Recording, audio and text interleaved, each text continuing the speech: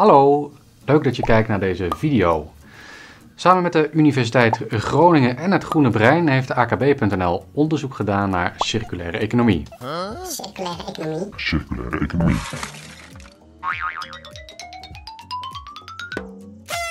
Op die online enquête hebben in totaal 194 mensen gereageerd.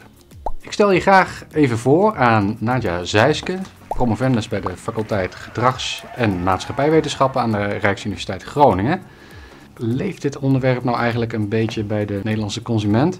Ons onderzoek heeft een redelijk goede dwarsdoorsnede van de Nederlandse consument. Als je kijkt naar herkomst, inkomen, opleidingsniveau en leeftijd.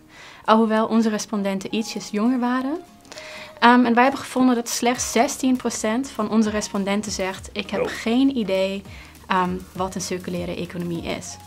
29% hebben wel de term, zijn bekend met de term, uh, maar weten niet echt wat het inhoudt. Maar liefst 55% zeggen: Ja hoor, ik weet wat een circulaire economie is. Zie je dan ook nog een bepaald verschil uh, tussen de mensen die zeggen ik weet wat het is en mensen die zeggen ik heb geen flauw idee? Jazeker. Um, zoals je wellicht zou verwachten, hoe meer kennis mensen hebben van een circulaire economie, hoe meer ze bereid zijn om circulair te consumeren. Dus er is een grotere bereidheid uh, om circulair te handelen als mensen weten wat het inhoudt. Zijn de resultaten eigenlijk een beetje wat je ervan verwacht had? Um, nou, in het algemeen bleek uit het onderzoek dat de deelnemers heel erg positief waren over een circulaire economie. En dat ze ook echt bereid waren om circulair te consumeren. En dit heeft mij wel een beetje verbaasd. Ik had niet verwacht dat uh, mensen zo erg positief zouden zijn in het algemeen over de circulaire economie. Dus zijn de Nederlandse consumenten dan een beetje circulair aangelegd? Um, nou, ons onderzoek laat zien van wel. De respondenten gaven aan dat ze in het algemeen liever circulaire producten willen kopen dan niet-circulaire producten.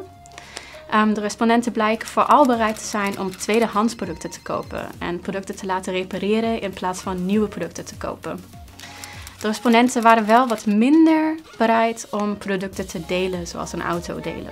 Valt jou dan ook nog iets bijzonders op in de afwegingen die respondenten maken?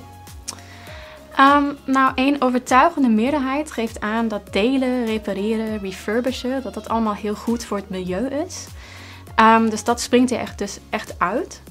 Um, deze overtuiging. Maar een opvallende factor bij autodelen versus auto kopen bijvoorbeeld, um, is dat relatief veel respondenten het als onhandig zien. Um, dus ze zeggen het is wel goed voor het milieu, maar wel een beetje onhandig. Bij het repareren van een stofzuiger of kopen van een refurbished telefoon komt dit aspect een beetje minder naar boven.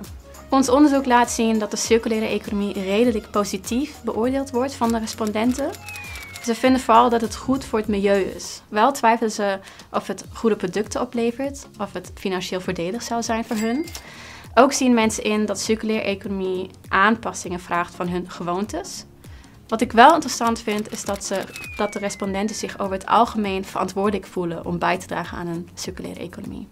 Tot slot, welke factoren voorspellen nou precies in hoeverre consumenten bereid zijn om circulair economisch te gaan handelen? Nou, het lijkt erop dat hoe positiever respondenten in het algemeen zijn over een circulaire of over de verschillende aspecten van een circulaire economie. Dus denk je aan of het financieel voordelig is, of of het handig is, of of het goede producten oplevert, hoe meer bereid ze zijn om circulair te consumeren. Interessant genoeg lijkt het belang van de verschillende aspecten verschilt voor verschillende circulaire gedragingen. Dus bijvoorbeeld als het gaat om tweedehands producten kopen, um, in plaats van een nieuw product te kopen, dan zijn vooral de milieuaspecten een belangrijke voorspeller. Maar als het gaat om het repareren van je kapotte stofzuiger, dan zijn de praktische overwegingen vooral belangrijk. Ben jij nou benieuwd hoe akb.nl handen en voeten geeft aan de circulaire economie? Kijk dan even op akb.nl slash circulair bestek.